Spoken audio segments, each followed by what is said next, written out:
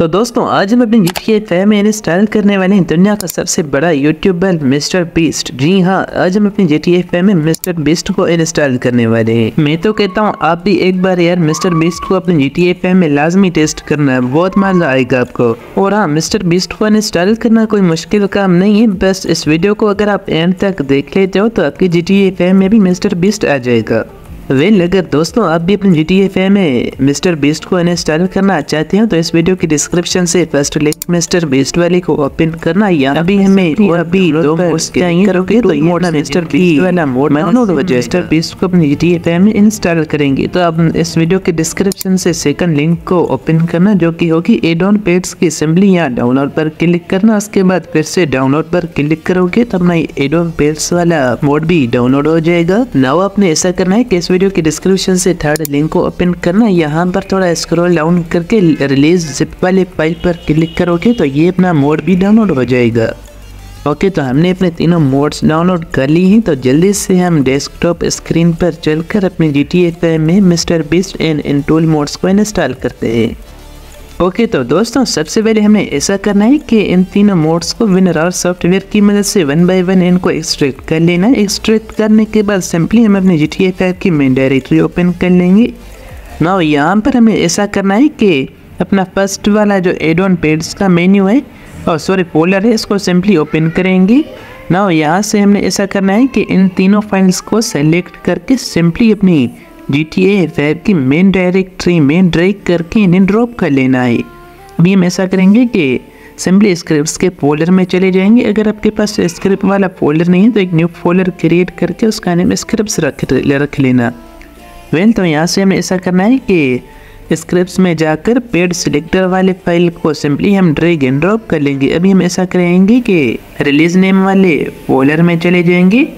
उसके बाद यहाँ से इन दो फाइल्स को सिंपली सिलेक्ट करके अपने जी टी के स्क्रिप्ट के फोल्डर में ड्रैग एंड ड्रॉप कर लेंगे नाउ हमने बैक आ जाना है।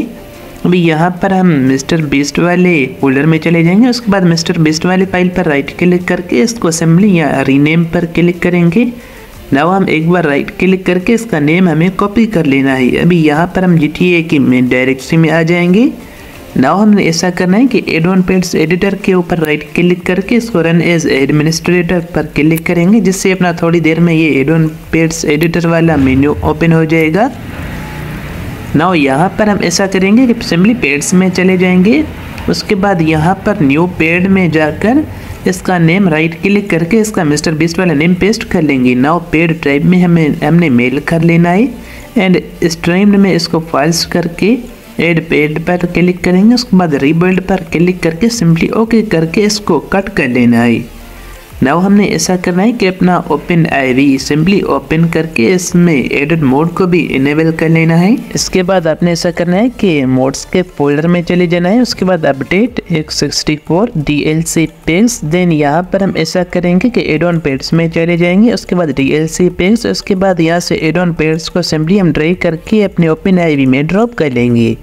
नाउ हम ऐसा करेंगे कि एड ऑन के फोल्डर में चले जाएँगे D L C dot R P F peds dot R P F उसके बाद यहाँ पर थोड़ा बेक आ जाएँगे। एक बार फिर से बेक आकर मिस्टर बिस्ट वाले फोल्डर में चले जाएँगे एंड यहाँ से इन चारों फाइल्स को सिंपली हमने ड्रैग करके अपने ओपन आईडी में ड्रॉप कर लेने हैं।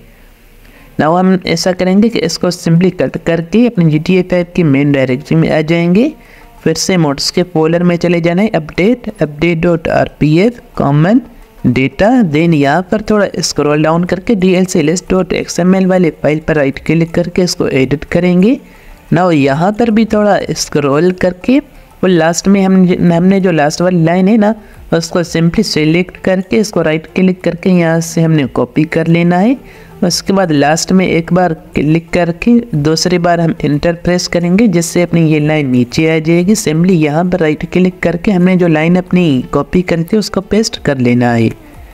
ना यहाँ पर आपने ऐसा करना है कि सेंटर वाला वर्ड कट करके यहाँ पर एडोन पेड्स लिख लेना है। उसके बाद सिंपली यहाँ पर इसको सेव करके अपने ओपन आईवी को क्लोज करना है एंड अपने जी टी को ओपन कर लेना है।